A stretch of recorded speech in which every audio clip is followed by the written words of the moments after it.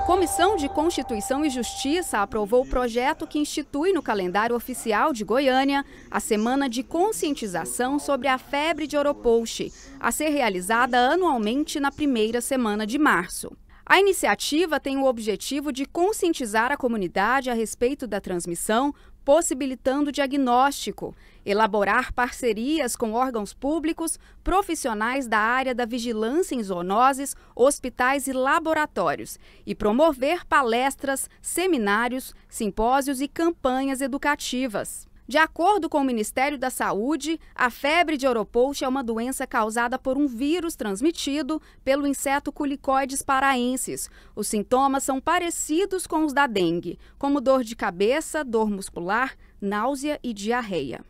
O avanço da febre do Oropouche no Brasil colocou Goiás em alerta.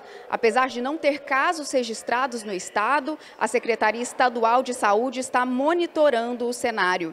Isso porque, de acordo com o Ministério da Saúde, já há casos da doença em mais de 22 estados brasileiros. E ainda, de acordo com o painel epidemiológico do Ministério da Saúde, no ano passado, 831 casos da doença foram registrados no Brasil.